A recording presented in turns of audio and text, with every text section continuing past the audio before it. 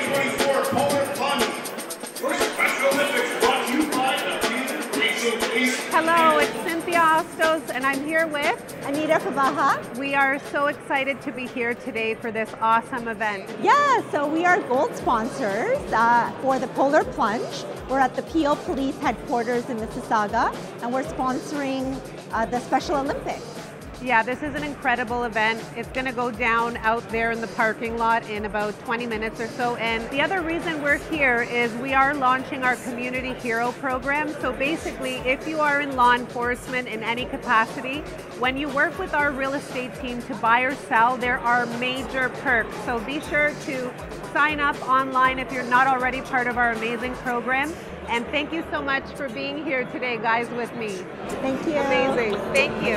Anything less than the best is a felony. Love it or leave it. We have 34 polar plunges across the province taking place between January and March. We have about a week to go. We set our goal initially at $750,000. Wow, incredible. We are this close to a million dollars Oh my right now goodness. with one week left. Goosebumps. And efforts like this across the province by different law enforcement um, partners that help to raise money. And all the money we raised was directly to Special Olympics athletes.